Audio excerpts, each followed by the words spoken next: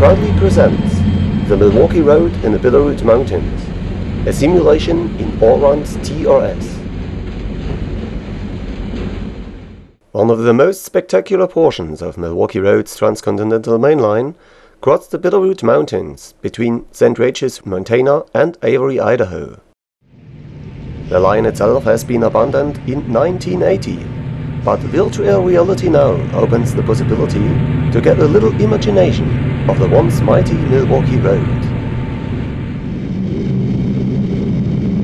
You can jump behind the control of a boxcab electric, moving a freight train.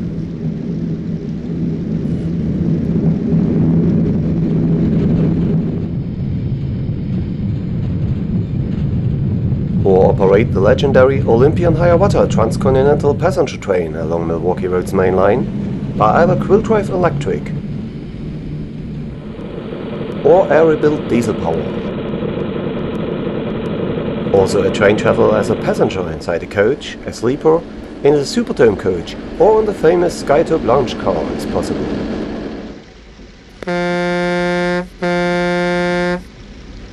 Looking trucker can pick up logs beside St. Joe River and carry it down to Avery, where a Milwaukee Road train awaits its load. Or take a speeder and run the tracks for inspection or fire control. And last but not least, listen to the sound of the powerful Little Joes together as a tandem unit providing over 10,000 horsepower, or in combination with the SD40-2 diesels by common practice in the last years of electrification at the Milwaukee Road. Since the simulation reached up over Lookout Pass, it is also possible to witness a train rolling through Mullan, Idaho, at Burlington Northern's ex-Northern Pacific's Lookout Pass line. But for now you may sit back and watch this little demonstration of train traffic over the Bitterroot Mountains, as it was more than three decades ago. Now a heavy freight train, led by three SD40-2 diesel locomotives from Washington State, approached Avery beside. Joe River. The train crosses Avery maintenance yards, the turntable and roundhouse, the big shed and the sand tower before it reaches Avery Depot. Since the main line between Avery, Idaho and Othello, Washington have never been electrified, all trains were pulled by either steam and diesel power between Montana and Coast Division. The three SD40-2 diesels crosses under the road bridge and slows down for the stop at Avery.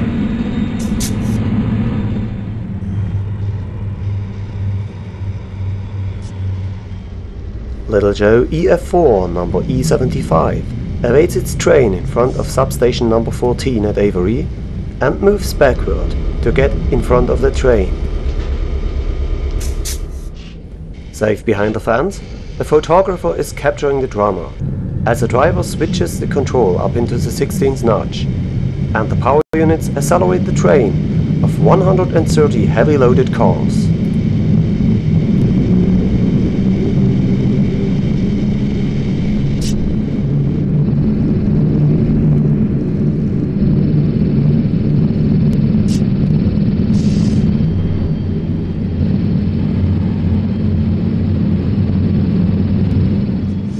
The eastbound rolls along the Avery Yard.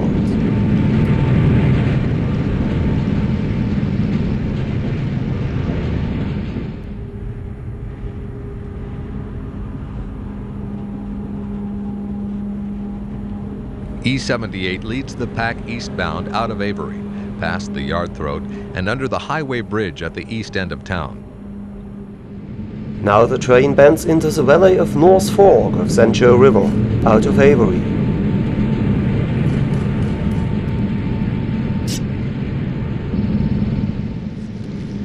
After a slowdown to allow caboose crew change back at Avery, the train accelerates into the steep mountainous terrain up to Stetson, Kylie, Falcon, Adair, Roland, and St. Paul Pass.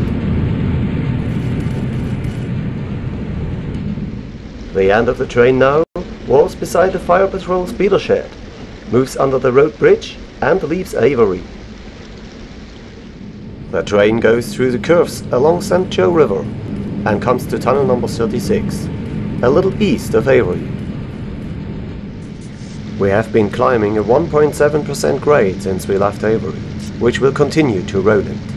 The train now crosses Stetson Bridge, a 9-span girder steel trestle, the first of 10 trestles on the way up to St. Paul Pass.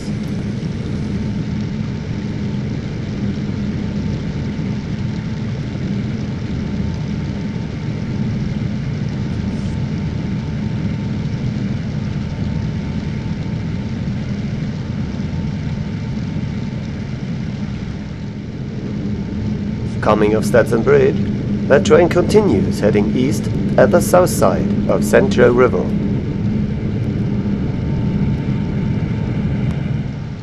Just out of tunnel number 32,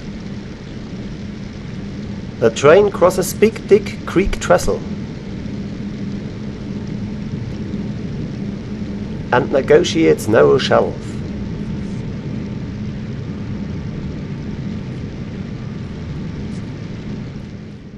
The eastbound now crosses the siding of Falcon, Idaho. As well as Roland, Falcon once had a lot of steam train maintenance equipment here. But it all became obsolete after the electrification was completed in 1915. Now the train goes into tunnel number 28, out of Falcon, Idaho. And soon after, into tunnel number 27 nearby. The train moves out of snow sheds at tunnel number 27 and approaches the 13 girder span steel trestle at Clark Creek. The power unit leads the train across the trestle and continues into the Loop Creek Valley. Up the hill at the north side of Loop Creek in the background appears tunnel number 23 and 24 as well as a small creek trestle, while the train moves over Big Bear Creek Trestle at the south side of Loop Creek. The Skene views Russell Creek Trestle and the train crossing it, while Barnes Creek Trestle and the rock face nearby appears uphill in the background.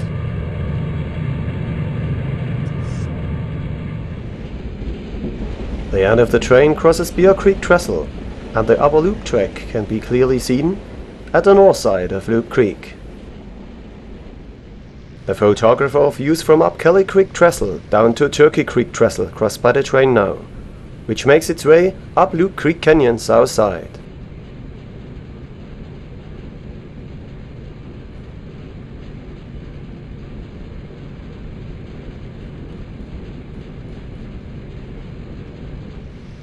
Out of tunnel number 26, the train crosses Loop Creek Road and dives into tunnel number 25.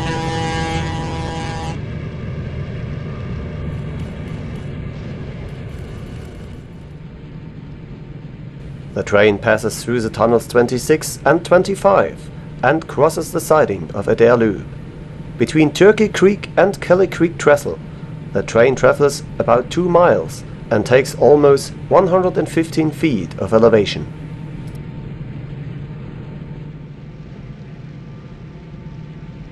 Now the train crosses the 850 foot long Kelly Creek Viaduct, number DD220. Kelly Creek Trestle is the largest viaduct of Rocky Mountains Division and the highest bridge at the Milwaukee Road.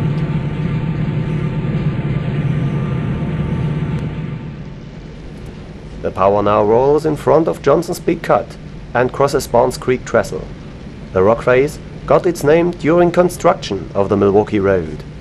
A contractor named Johnson needed to blast its way through the rock nearby Barnes Creek. 25,000 pounds of explosive powder have been touched off, and a gigantic blast through tons of rock and car-sized boulders down the valley and onto excavation camp number 1. Nobody has been killed or seriously injured, but half of the camp was smashed. E75 crosses Small Creek Trestle at milepost 1754.5 and gets into tunnel number 24.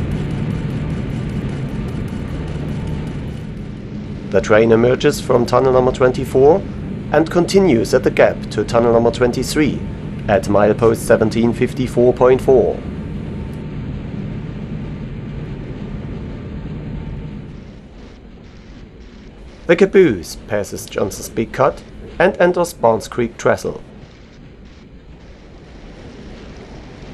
Then it crosses Small Creek Trestle and follows the train through tunnel number 24.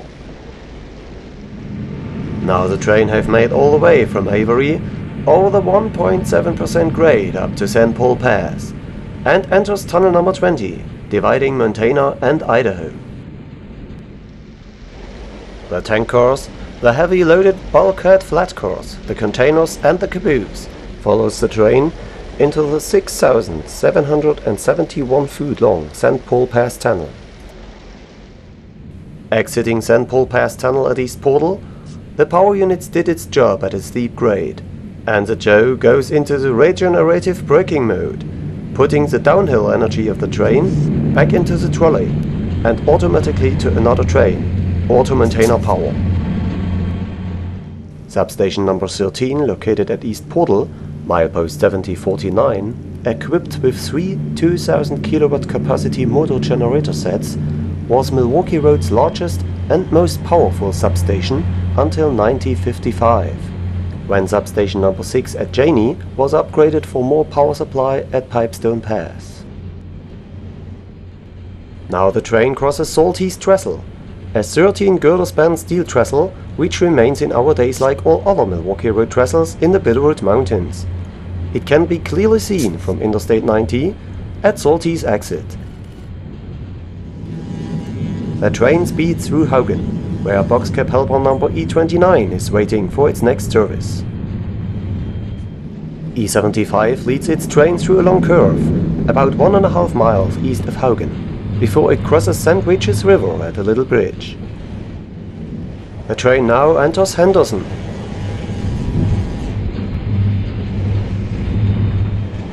And crosses once again. Regis River. The line follows the river's south side until St. Regis, where St. Regis River flows into Clark Fork River, across by the Milwaukee Road. E75 and the 3 SD40-2 surrounds the train through the big curve at milepost 1727.5. In our days, two bridges carries here Interstate 90 high above St. Regis Valley.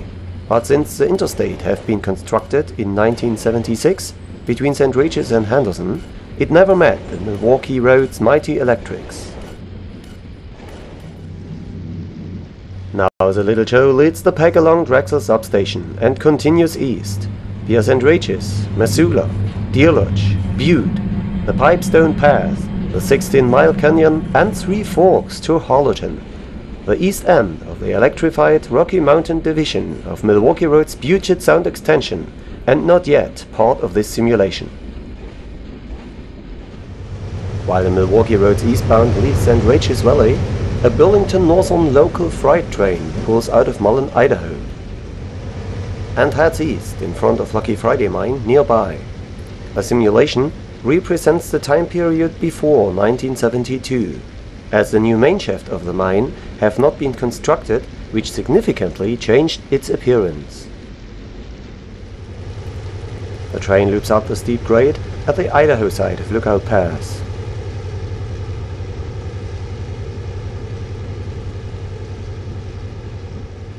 Now the train crosses S-Curve Viaduct, located a little less than 2 miles southeast of Mullan, Idaho. To maintain a grade below 2.5%, the line have been constructed, including two loops, and stretched around the valleys in the steep mountainous terrain.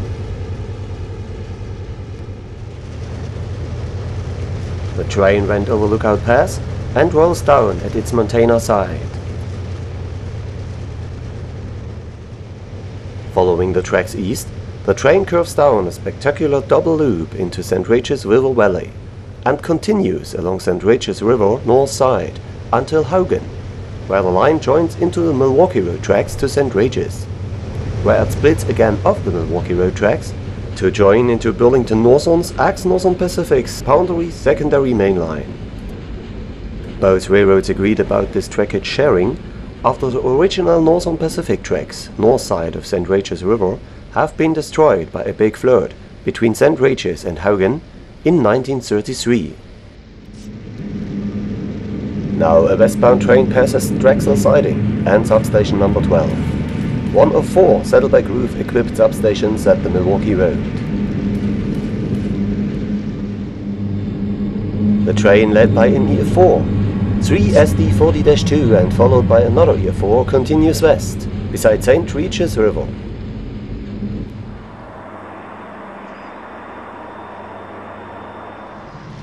Little Joe E73 lays its train around the big curve at milepost 1727.5, about 2 miles northwest of Drexel and substation number 12.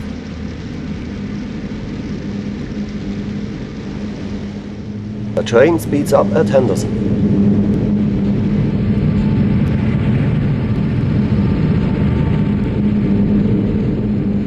Two sixty one's power is now two and three quarter miles west northwest of Haugan. West of Haugan, the main line starts its 1.7% climb up the Montana side of St. Paul Pass.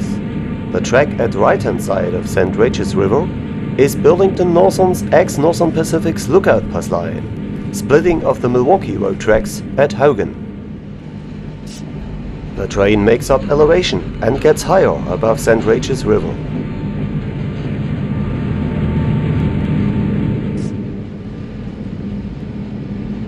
Now about 5 miles west of Haugan, the train crosses the 13 girder span steel trestle at Saltese, Montana.